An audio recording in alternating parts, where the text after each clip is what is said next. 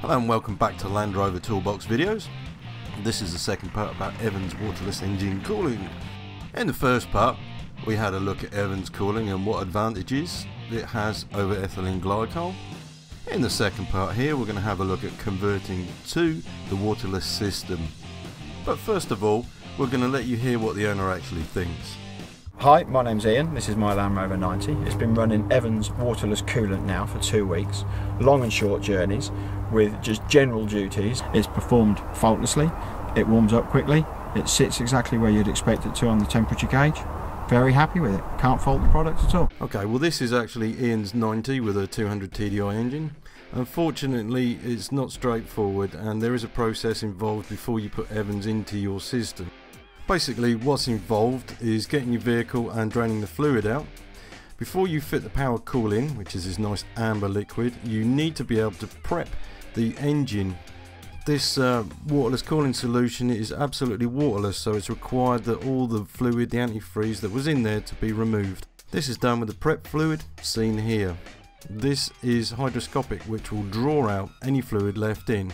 First of all the old antifreeze needs to be removed and this can actually be quite a messy job. What we've done here is uh, break a pipe to drain the radiator and we've taken the bung out of the block. To work correctly the prep fluid needs to be uh, heated up to engine temperature with the engine running.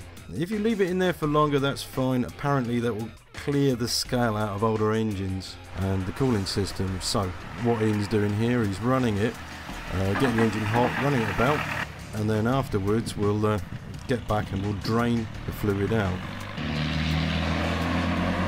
Okay, I will say that you don't have to drive on Comp Safari to take advantage of this. This is for longevity. Once it's in there you can leave it and forget about it. This solution is for any vehicle that has a, a, water system in it and for proud owners like Ian who look after their vehicle this is an ideal solution.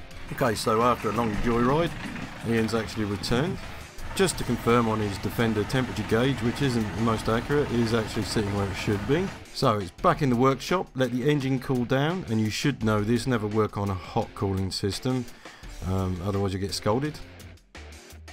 Same process, and what we're doing is making sure we've got as much of this flushing fluid out as possible. Um, this is almost the same as the solution that's going in here, but what we're doing is draining it out as much as we can get out. The prep fluid is actually non-toxic.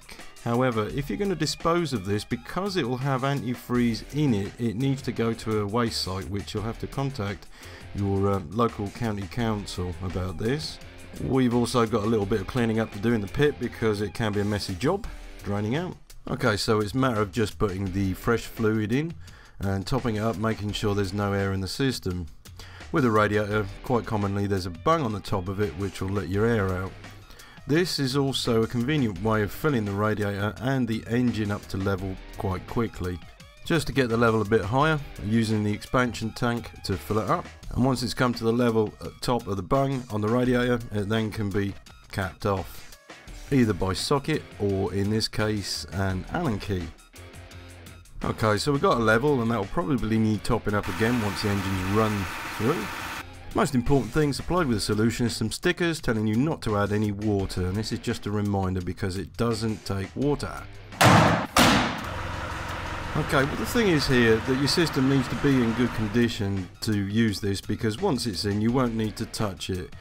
It's a solution that is there for a lifetime and they're saying that it's 20 years. The engine will run at normal operating temperature in all conditions. It doesn't boil and the hoses will be soft since there's very little pressure in the system. The bonus of not having much pressure in the system means that it takes the strain off components. Ian's vehicle recently has had a new radiator fitted. The hoses are in good condition as well since they were changed for the 200 TDI conversion. He won't need to touch this for a long time. So once there's in, there's all you have to do is just leave it. Now I won't ever have to change my antifreeze again. In the first case you want to be looking at paddock spares and accessories since they are a stockist in the UK and a mail order. For those who are a bit further away from the UK there is also a global stockist finder so check it out.